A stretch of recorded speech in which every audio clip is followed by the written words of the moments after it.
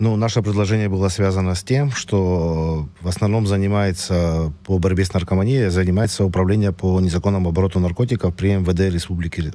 Хотя э, должны заниматься помимо этого и таможенные органы, то есть пресекать э, контрабанду наркотиков, в основном, которые поступают э, из Российской Федерации. Э, и, соответственно, другие службы. Служба госбезопасности, прокуратура, суды.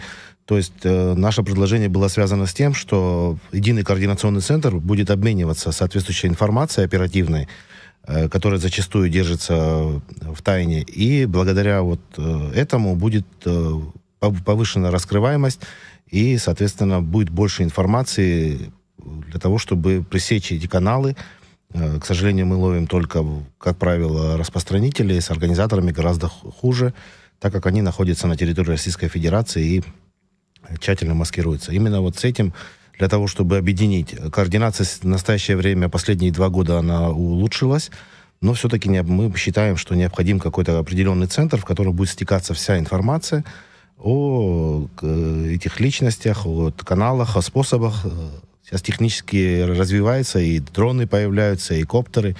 То есть э, методы совершенствуются, и нам тоже надо подстраиваться под эти технологии.